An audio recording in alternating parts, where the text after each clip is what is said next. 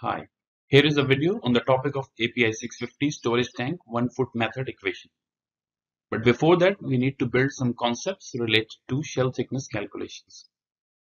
So storage tanks are often compared to tin cans mainly due to their thickness by diameter ratio. In fact, a storage tank is more fragile than a soda can and if you compare their T by D ratios, the soda can T by D ratio is typically 4 to 5 times that of storage tanks.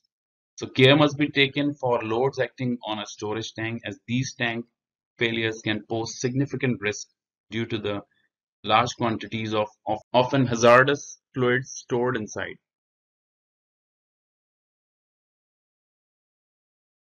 Now, a storage tank undergoes a lot of forces and loads and as a result various type of stresses are developed. We have listed here some of the main loads and stresses experienced by a storage tank. That is, for forces or loads, we can have hydrostatic head due to fluid stored inside, gas and vapor pressure inside tank, which is at the top of the liquid column, external loads on nozzle, live and dead loads, and dead loads can be weight of the component, vacuum, or snow loads, etc.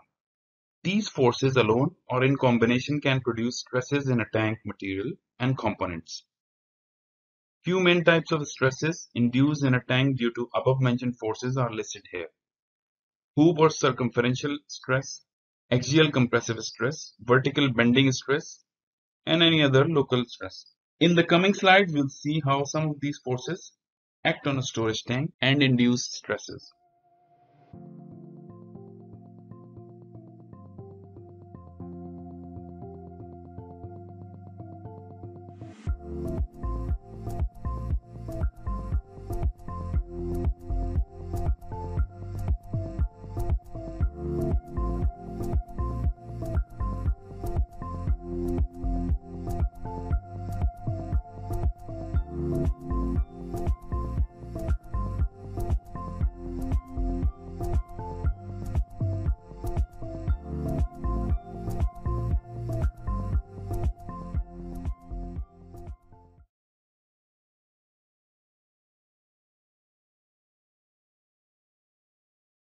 For a storage tank, the hoop stress is mainly developed due to static head of the stored liquid, so the profile of the stress will be like shown here.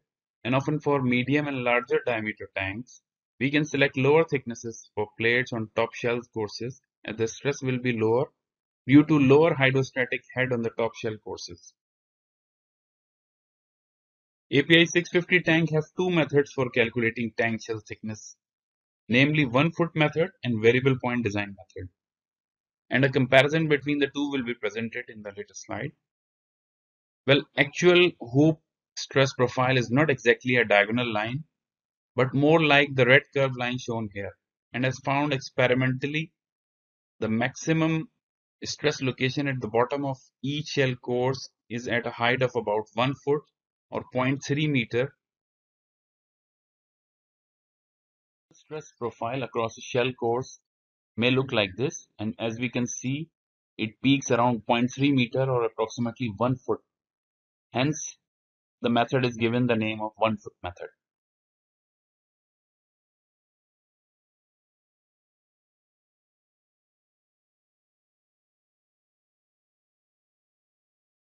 So as previously stated, API 650 standard provides two methods for shell thickness calculation namely one foot method and variable point design method.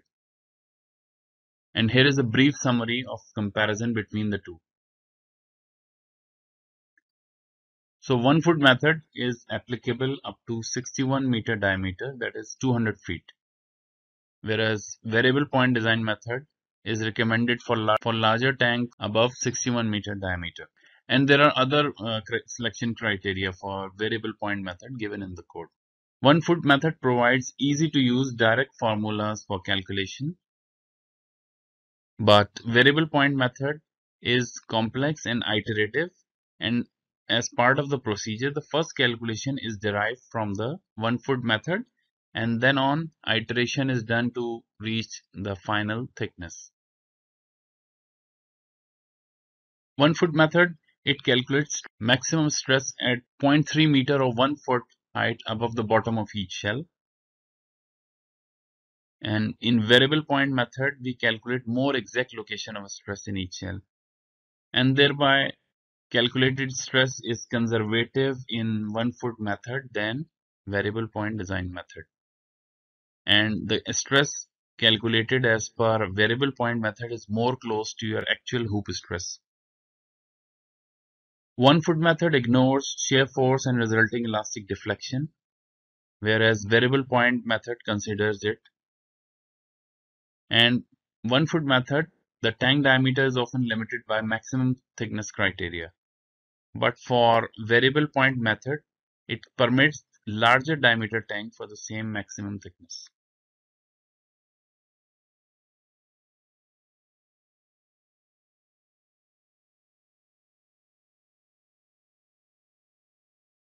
So we'll derive this one foot method equation in both units that is SI or metric units and USCS or US customary unit. So we begin with Barlow's formula that is thickness is equal to P times diameter upon twice of stress. And we'll use the same units that are given in the code itself that is diameter is in uh, meter, height in meter also. And as we have stated in the previous slide, height equal to h minus 0.3 or for USCS unit height is equal to h minus 1 foot. So we'll just calculate height at a location of 0.3 meter of 1 foot above the bottom of the shell course. And as we know that pressure due to static head is equal to rho gh. Here rho is the density, g is the uh, acceleration due to gravity and h is the head of the liquid. We'll utilize the g which is specific gravity of fluid and we know that density of any liquid is equal to density of water into specific gravity g. So we'll put this in our formula. So our respective equations will become thickness equal to rho g h into d over 2 into s.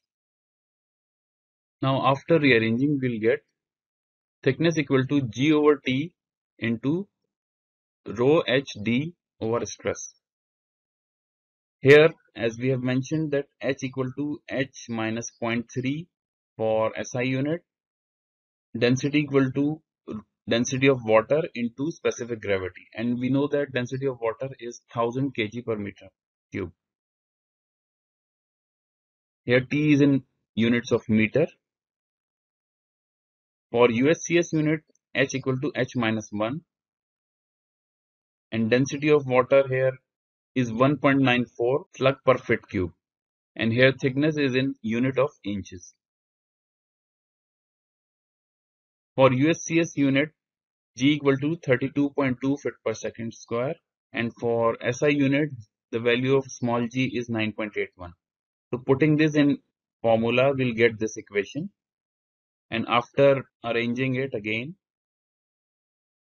we get the following equation. You can notice here the thickness is still in meter for SI units and it is in feet for USCS units.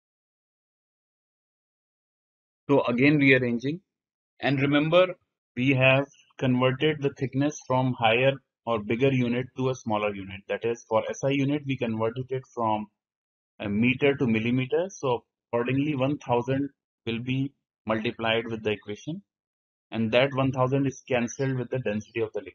So we'll get this uh, as both 1000s are cancelled. So we get this equation and for USCS unit, we are converting it from thickness to inches. So it is multiplied by 12 that we take this 12 on the other side of the equation. And after rearranging, we'll get for SI unit in millimeter is 9 times diameter into h minus 0.3 into specific gravity over stress. And for USCS unit, thickness in inches equal to 2.6 times diameter into h minus 1 into specific gravity over stress. Now, after adding corrosion allowance, we'll get this final equation which is thickness in millimeter is 4.9 times diameter h minus 0.3 into g over s plus corrosion allowance and respectively for USCS unit thickness in inches is 2.6 times diameter h minus 1 into g upon stress plus corrosion allowance. And as we can see, we can compare these equations. These are the equations provided by API 650 code for both units, that is SI unit and USCS unit. So we can see how we started from a simple Barlow's formula and we ended up with this API 650 code equation for one foot method in both units.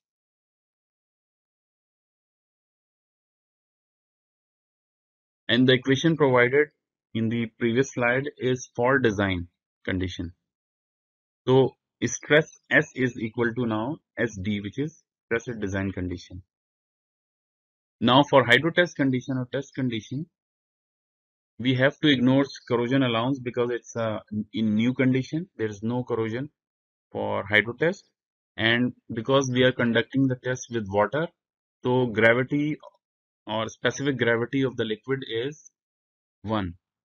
So again we are arranging G will cancel out from the equation and there is no corrosion allowance for hydrotest. We'll get this equation of 4.9 times D H minus 0.3 over stress of T. Now this one is different from SD. SD is uh, stress at design temperature and ST is equal to stress at uh, test temperature. And similarly for USCS unit, thickness at test temperature is 2.6 times diameter into H minus 1 over ST.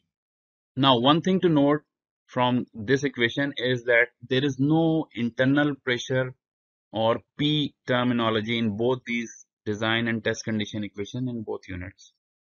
And if we compare it with codes, uh, other codes like uh, BS standard, in their thickness calculation, there is a term P or internal pressure above the column head in the equation. But API 650 ignores it due to very less value in comparison with static head. Hence, we don't see a pressure P term in API 650 standard equation in comparison to BS standard.